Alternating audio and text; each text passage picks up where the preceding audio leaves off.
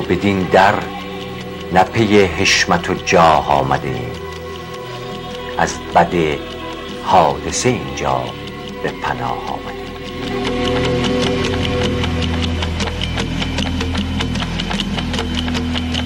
رهرو منزل عشقیم و ز سرحد عدم تا به اقلیم وجود این همه راه آمدیم کوچ ایرانیان. اما یه التماسی دارم به این ایرونیا بیشتر به فرهنگ به فکر فرهنگشون باشن. یادشون باشه که آدم بی هویت بی ارزش هست.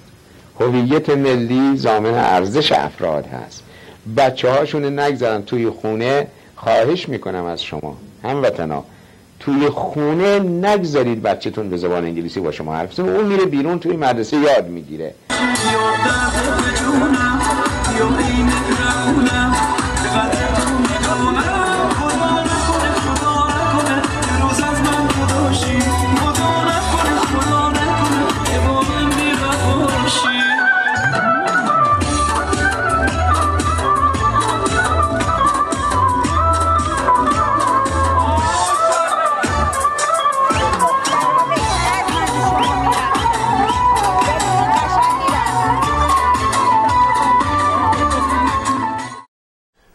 درود بهارانه و همچنان تبریکات نوروزی. سی و پنجمین نوروز در غربت هم سپری شد. این سی و پنج سال آمیخته با خاطراتی است که با نگاهی ساده می‌توان جنبه های مثبت و منفی آن را نیز مورد بررسی قرار داد. طی این سالها ما بسیار آموخته ایم.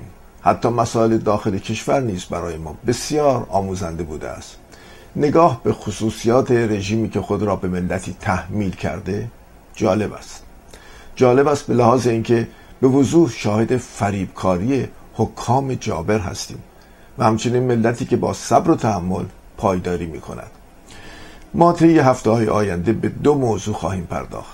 دو واقعه تاریخی که نمودار روحیات واقعی حکام تهران است. اول کنفرانس برلین که حکومت از وحشت رابطه ملت ایران با خارج اعصاب خود را از دست داد و اقدام به دستگیری و دادگاهی شرکت کنندگان در کنفرانس برلین کرد. دوم قیام سال 1388 که باز هم حکام جابر از روی وحشت آن را فتنه نامیدند که این البته فقط حاکی از وحشت رژیم تهران است نه چیز دیگری.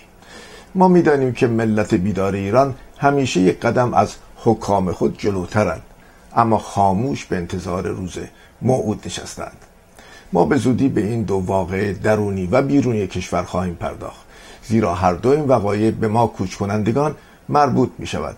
در اصل یعنی هر چه که در رابطه با سرنوشت ملت ایران است به ما کوچ کنندگان مربوط می شود. چون این مسائل در سرنوشت ما ایرانیان خارج از کشور بسیار موثر بود و هست. از اشتباهات رژیم گذشته گرفته تا صفاکی رژیم حاکم همه اینها هستند که باعث می شوند نقش ما در آینده ایران بیشتر فرم بگیرد و موثر باشد. چهار میلیون مهاجر ایرانی. ایران ایران دوم ریاضی اینجا پناهنده شدم این کاری رو که کردم نامشو فرار گذاشت. کوچ بزرگ ایرانیان. پس من یه موجود بیخانه ای هستم. آقای گنجی من نمی‌دونم چقدر جنایت کردی. ذوق نزن که بچت اوکی اوکی بزن من الان هم در شرایط ترور زندگی می‌کنم همون روز من استعفا دادم. از جهنم حکومت اسلامی نجات پیدا بعد از این طلبه ها بعد از انقلاب اعدام شدن. منو توی گونی بکنن آویزون کنن با کاپ بزنن. هیچ وقت کشور بیگانه وطن آدم نمیشه. از هر چهار نفر آواره یکیش ایرانی است. این چهار میلیون آینده ساز ایران خواهند شد. در مصاحبه هفته گذشته دکتر کاظم علمداری که مسائل سال گذشته ایران را مورد بررسی قرار می‌داد ایشان روی نکته جالبی انگشت گذاشت و آن این بود که موقعیت ایرانیان خارج از کشور در سی یا سی و پنج سال پیش با امروز خیلی متفاوت بوده است. زیرا در آن دوران جامعه غربت گزیده هنوز با معیارها و ضوابط سابق خودش زندگی می‌کرد. یعنی دوران گذشته برایش هنوز بسیار زنده بود و عامل اصلیش هم امید به بازگشت بود و آمیخته نشدن با فرهنگ غربت. خب طی این 35 سال جامعه ما کوچ کنندگان کاملا تغییر پیدا کرد. همانطور که در دو سه سال اول مهاجرت مسائل ما مانند خیلی از مسائل کودکان و نوجوانان و ترانه های سابق و خوانندگان آن دوران هنوز برای مردم یادآور دوران گذشته بود نه اینکه امروز نباشد نه.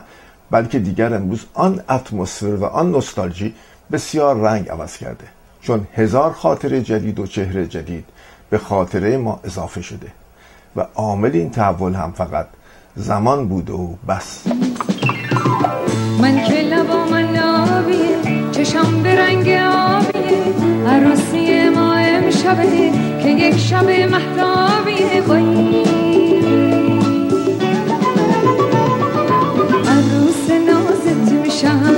محرم رازت میشم عروس نازت میشم محرم رازت میشم.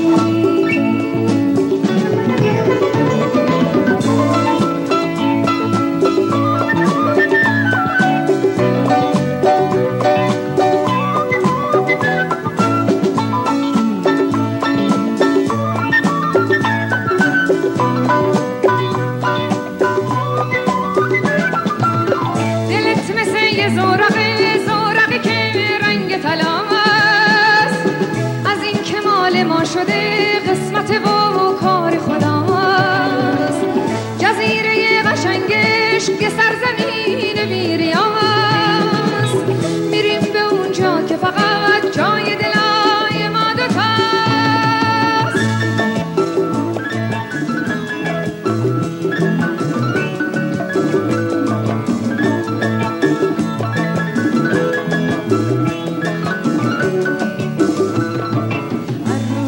نازت میشم محرم رازت میشم عروس نازت میشم محرم رازت میشم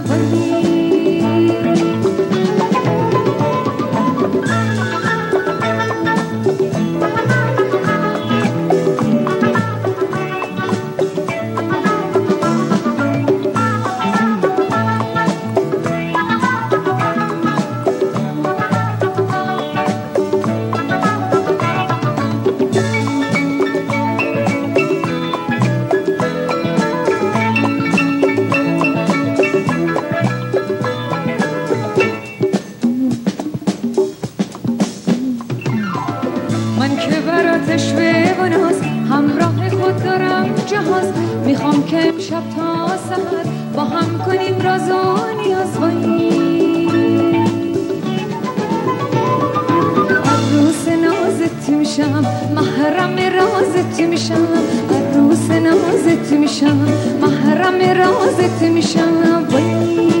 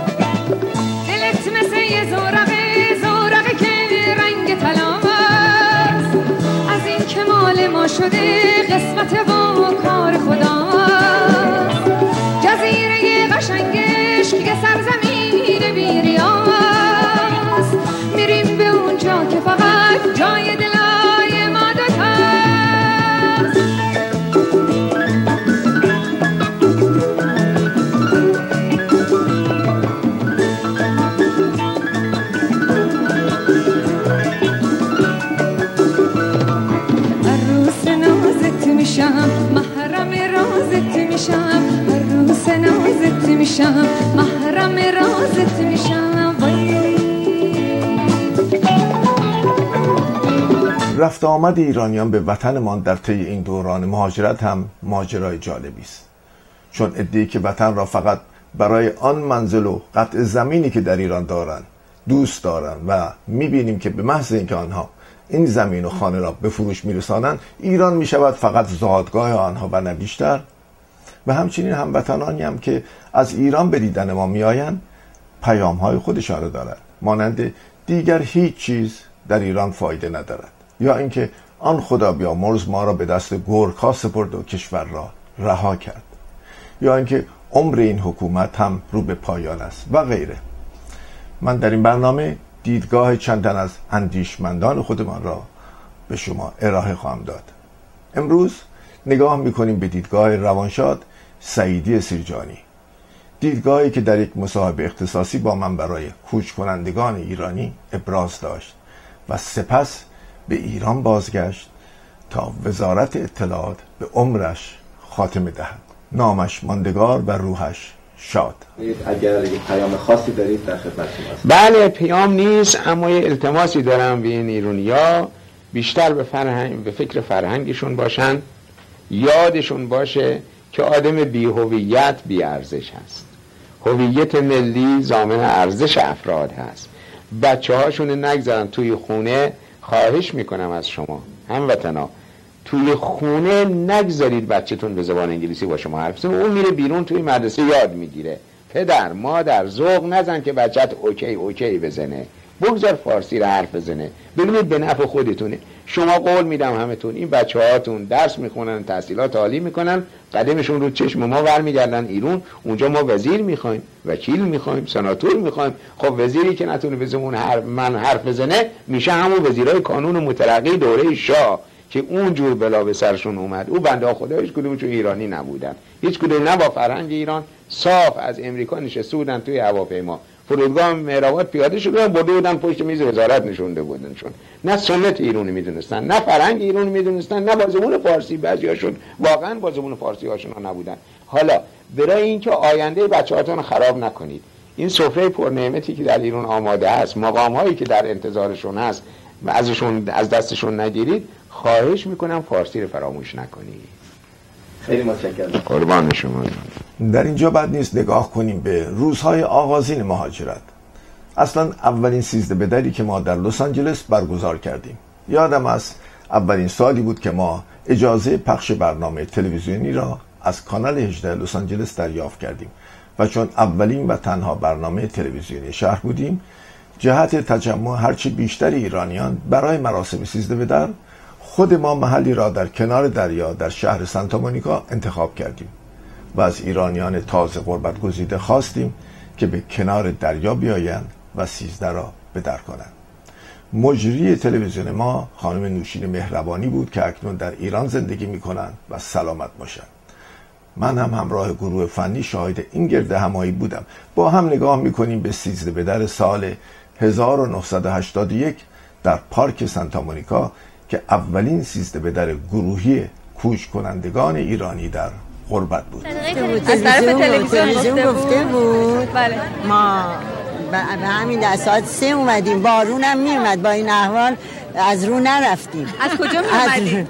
از همین مال ما خونه ما سانمونیکاست نزدیک هستیم. بله نزدیک هستیم. ولی خب بارون میمد نمی‌خواستیم پیاده بشیم. گفتیم وای میسیم بالاخره یه هوا درست میشه انشالله. و اینا هم که قول دادن به ما گفتن میایم حتما میاد. حتما ما اومدیم دیگه. به عهدمون وفا کردیم. سلام بر شما که به وعدتون عمل کردید و سیزده رو با ما به در کردید. و سلام بر شما که به خاطر گرفتاریاتون نتونستید در جمع ما حاضر بشید. الان من در سانتا مونیکا در پارک اوشن پارک هستم. بیشتر از هزار نفر از خانواده های ایرانی در اینجا جمع شدن که نشون بدن به ایرانی بودنشون افتخار می‌کنن و چقدر به سنت های ملیشون اهمیت می‌ذارن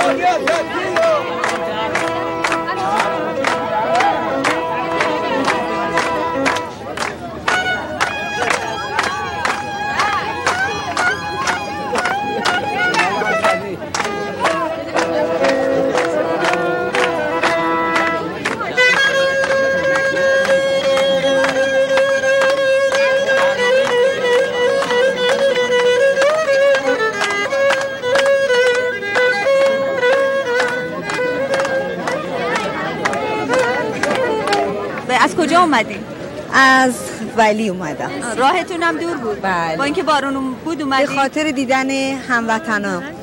اومدیم اینجا که همدیگه رو ببینیم یادی از ایرون بکنیم. خب سبزم گره زدی؟ نه ازم گذشته دیگه. هرشون از حال گذشته. مگه خانم سبزه رو فقط برای شوهر کردن پس که گره نمی‌زنن چی می‌زنن؟ هر آرزویی که داری. آها پس اگه این موضوع یه دور می‌زنن حتما حتما. شما چی آقا؟ خانم مهربانی من از شما بی نهایت سپاسگزارم به نام یک فرد ایرانی که واقعا این سنت رو زنده کردید پشت ت... پشت تلویزیون عنوان کردید که امروز ما اینجا جمع بشیم و سیزه بدر رو بدر بکنیم. آش رشته شما نپختیم برای سیزه بدر چرا قربون؟ چرا؟ آش رشته پختیم ولی تو خونه خوردیم دیگه. آره جای شما. بسیار خالی. مرسی که خوش هنوزم هست اگر تشریف بیارین خیلی میل داشته ممنون. که هست خوش باشین خدمت هستیم. مرسی.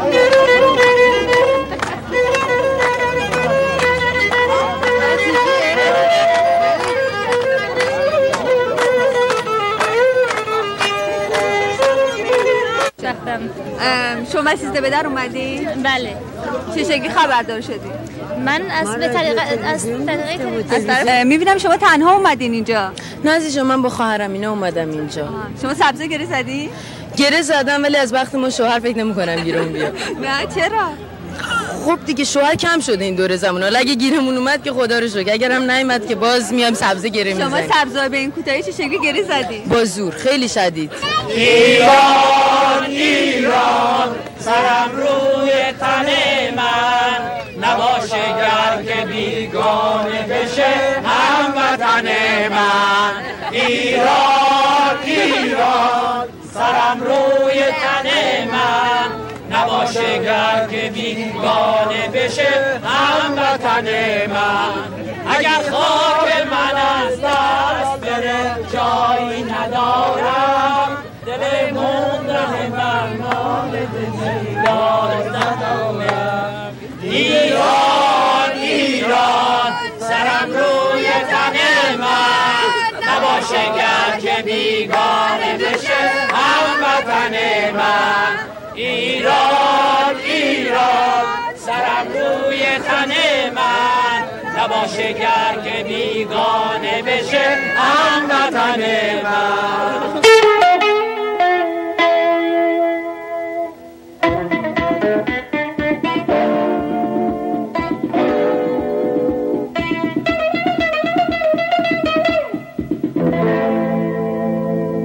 اگر در آن سالها حتی در رقص و آواز گروهی سیزده به در نام ایران بیشتر مطرح بود متاسفانه امروز در جشنهای خیابانی لس آنجلس بیشتر فقط بزن و بکوب مرسوم شده است.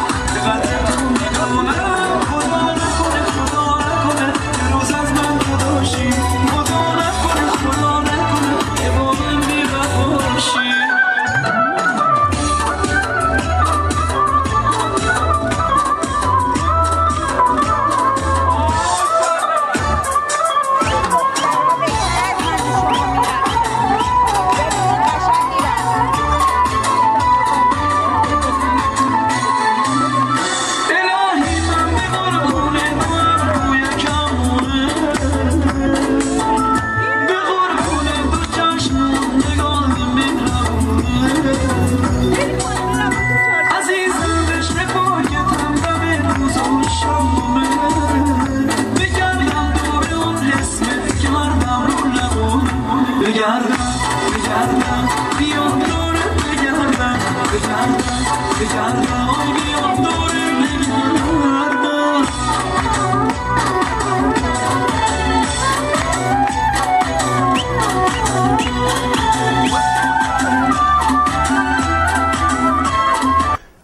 آینده به منزل دکتر هدایت الله متین دفتری نوه دکتر مصدق می رویم و پرسجو می کنیم که به چه دلیل ایشان به خارج و به پاریس کوچ کردند. آقای دکتر متین دفتری شما از آغاز انقلاب ایران سال 57 به عنوان حقوقدان در کشور ایران فعال بودید.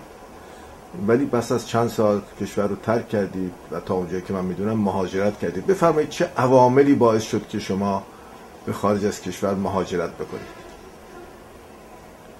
من بایستی برگردم به سال 57 یعنی در واقع از شروع پاییز 57 تا هفته آینده. در نگاه به کوچ ایرانیان با ما همراه باشید تا یک روزی با هم آن را به پایان برسانیم.